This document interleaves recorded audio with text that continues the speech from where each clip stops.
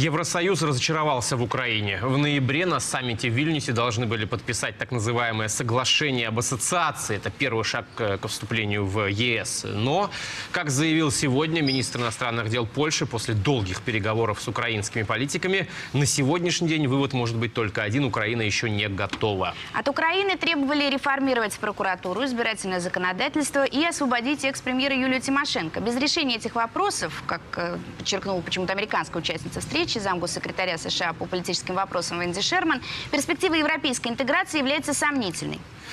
У нас в гостях депутат Верховной Рады Украины, член комитета по вопросам европейской интеграции Петр Порошенко. Здравствуйте. Здравствуйте. Как по вашим наблюдениям, Петр Алексеевич, куда Украина в настоящий момент все-таки движется? В сторону ли Европы в принципе? Как сейчас, какая динамика наблюдается? Знаете, я не буду вас обременять. Добрый вечер. Спасибо, что пригласили и дали возможность пообщаться. Я не буду вас обременять э, количеством законопроектов, которые были приняты, и э, дорогу, которая прошла Украина на пути к европейской интеграции. Но могу вас заверить, что сегодня это уже 90% того плана действий по подписанию положения по ассоциации уже пройдено. И э, у нас вчера завершились переговоры премьер-министра Азарова с баронессой Эштон э, в Люксембурге, где было абсолютно четко э, задекларировано о том, что двери Европы для Украины открыты. И э, позиция Радослава Сикорского, э, моего доброго друга, министра иностранных дел Польши, э, в данном случае звучит не как запретительная, а как стимулирующая. Коллеги, осталось 4 месяца, и за эти 4 месяца вы должны сделать ту работу, которая находится в плане действий. И украинская сторона я думаю, что имеет возможность продемонстрировать эффективные действия. И 28 ноября э, на саммите Восточного партнерства в Вильнюсе подписать уникальное по своему роду соглашение об ассоциации. Почему уникальное? Потому что это соглашение не имеет аналогов, э, и ни одна из стран-партнеров, на самом деле соглашений с Евросоюзом достаточно много, имеет его Турция, страны Северной Африки, другие государства-соседи, но по своему э, объему ре- сферы регулирования, э, по э, глубине проникновения, по объему углубленной и всеохватывающей зоне свободной торговли, связанный с этим безвизовый режим, связанный с этим целый ряд э, э, программ реформирования всех сфер жизнедеятельности государства, это действительно достаточно амбициозное соглашение. Я горжусь тем, что я принимал участие в его подготовке. Моя подпись стоит на парафированном экземпляре, когда мы парафировали зону свободной торговли. И я глубоко убежден, что речь идет не только о деньгах, не только о безвизовых поездках, не только об инвестициях, речь идет о ценностях. И если мы говорим о европейских ценностях, антикоррупционных, европейских ценностях прозрачной судебной системы, эффективной модели э, государства и власти, э, демократии, свободе выборов, отсутствие э, там, избирательного правосудия и многих других составляющих, то это хороший, амбициозный шаг для Украины. Как насчет процессов интеграции в рамках СНГ? Вот сейчас проходит конференция «Российско-украинские отношения. Реалии и перспективы». Там председательствует спикер Госдумы Сергей Нарышкин. Он сегодня произнес такую большую речь пространную. В частности, говорил о попытках измен, направленных на то, чтобы помешать процессам евразийской интеграции, как он это называет. И добавил, что в России не скрывают желание видеть Украину в числе деятельных и ответственных участников, проходящих на пространстве СНГ процессов интеграции. То есть так, словно не скрывает желание, но пока еще не видит.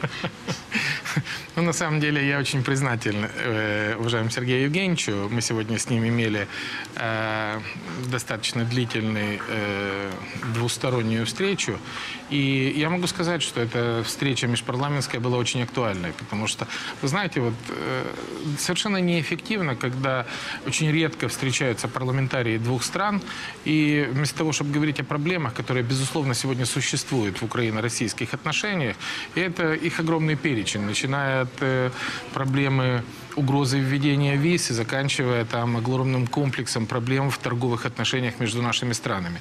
Начиная от восьмичасовых очередей при пересечении границы, заканчивая проблемой учеников или студентов, которые хотят взаимно учиться в наших странах. Начиная от пенсионеров, которые не могут оформить пенсии, работая в странах друг друга, и заканчивая... То есть их перечень огромен. На самом деле эффективная власть должна проводить переговоры, эти проблемы снимать, а не просто утверждать совершенно там достойные уважения слова о братских народах, о там, славянском единстве и о многом происходит? другом.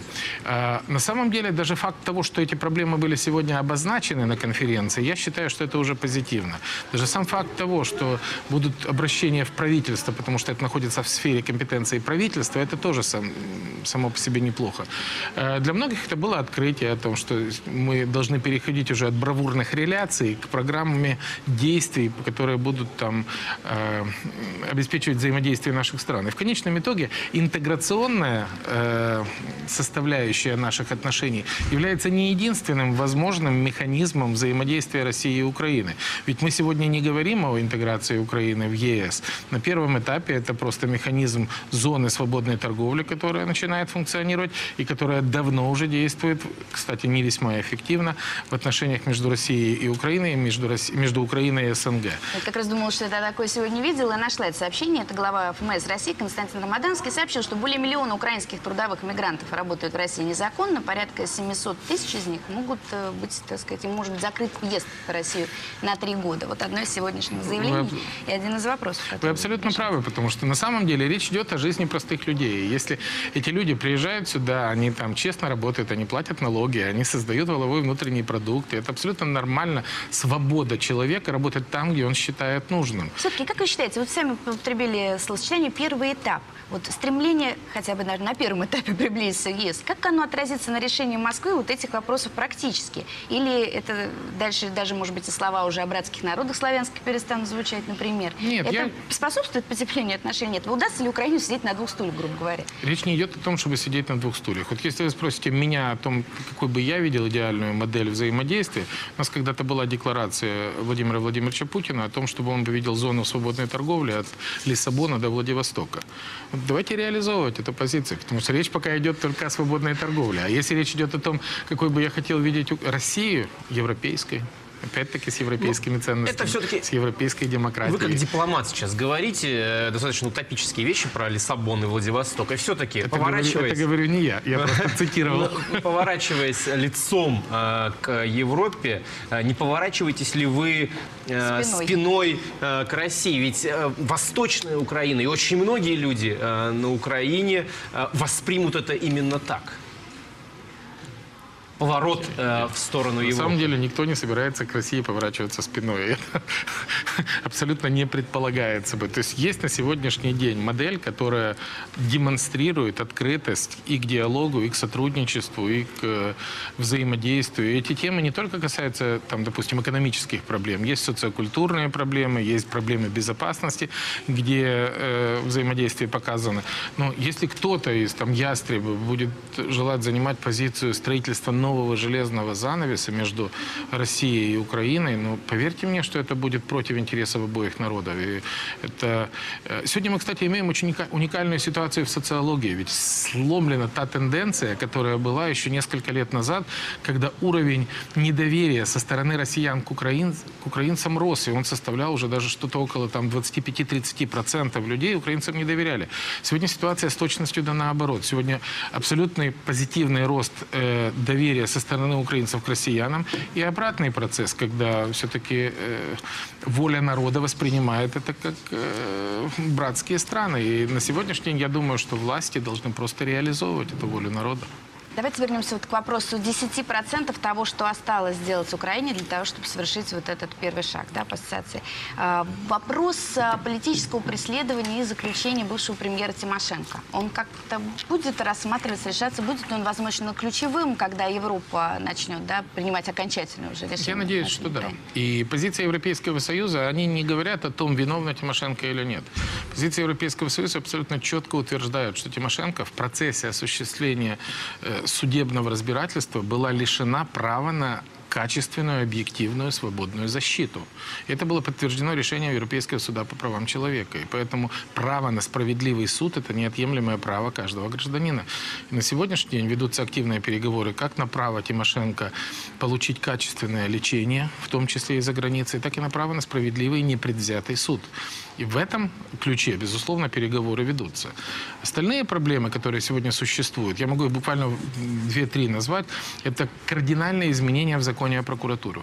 Когда у нас уходит общий надзор, когда какой-то, извините меня, чиновник определяет вместо суда, что законно, что незаконно. И это общая проблема и России, и Украины. И поэтому внесение изменений в закон о прокуратуре – это ну, как бы вещь, которая сегодня назрела и перезрела. Это просто постсоветское наследие, которое необходимо менять. И третья позиция – это избирательный кодекс или избирательное законодательство, которое двигает страну к э, прозрачным, свободным и демократическим выборам, которые должны, э, собственно говоря, и символизируют и реализуют демократию. Поэтому я думаю, что если мы говорим вот о конкретных шагах, ну скажите мне, кто против борьбы с коррупцией, кто против демократических выборов, кто против того, чтобы там, мы жили в европейской правовой системе с правами прокуратуры, только представлять интересы государства в суде и не больше. И кто против того, чтобы в стране не было избирательного правосудия. Кого не спросишь, все за. Вот еще один вопрос, где, может быть, Европа могла бы выступить арбитром, это дата выборов мэра Киева.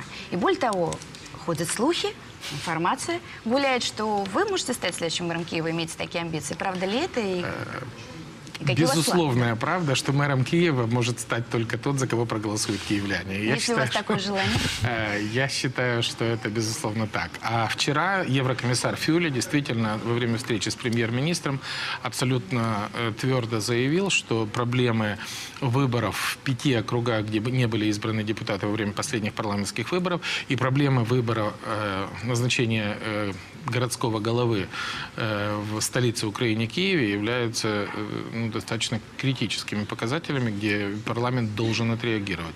Я надеюсь, что осенью эти выборы будут назначены, и если будет решение политических сил, сегодня это находится на завершающем этапе, э, будет выдвинуть меня кандидатом в мэра, то, по крайней мере, на текущий момент уровень социологической поддержки убедительно демонстрирует о том, что у меня шансы весьма высоки.